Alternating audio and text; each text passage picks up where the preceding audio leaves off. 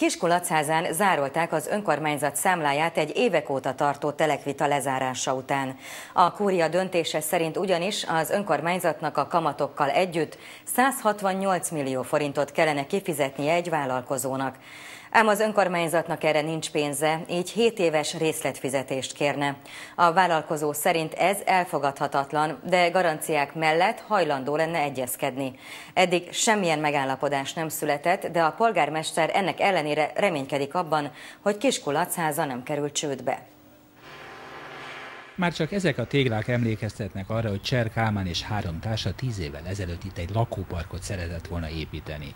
Mellesleg ez már egy közművesített terület, de az önkormányzat 2005-ben új rendezési tervet készített, és megváltoztatta a besorolást visszaminősítette EMA egybe mezőgazdasági területe, és elfelejtett minket kártalanítani. A vállalkozók szerették volna, ha újra építési területén nyilvánítják ezt a telket, de az önkormányzat erre nem volt hajlandó.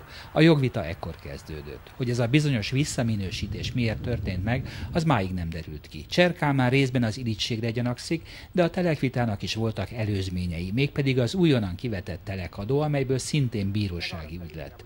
Azt a pert is megnyerte a vállalkozó, vállalkozó, de ennek ellenére most is sokat fizet.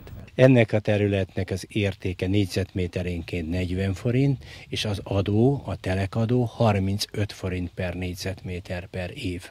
Vagyis adóként be kell fizetni évente a telek értékének 90%-át, és ez az összeg még emelkedhet is. A vállalkozó szerint az önkormányzat azzal, hogy őt teszi meg bűnbaknak, lejáratja, miközben az önkormányzat adóssága naponta százezrekkel nő.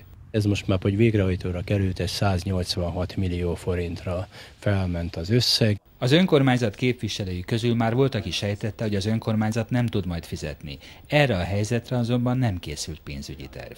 Ha valamilyen gyors segítség nem érkezik, akkor ez a, a csődeljárási folyamat várható. Az önkormányzat adósságának 45%-át a kormány nemrég átvállalta ugyan, de ez nem oldja meg a település gondjait. A polgármester a tartozás összegét vitatja, de a jogosságát nem. Elismerjük, hogy ki kell ezt fizetni, valóban jogerős döntés van, a település ki is szeretné ezt fizetni, de nem tudjuk sem egy összegben, sem kettő részletben kifizetni ezt, hanem egy méltányos emberi feltételek mellett megkötött megállapodás keretében hajlandók vagyunk ezt teljesíteni. Eddig a részletfizetésbe a felperesek nem mentek bele, ők másféle garanciát szeretnének kapni. A polgármester azonban más megoldást is elképzelhetőnek vél.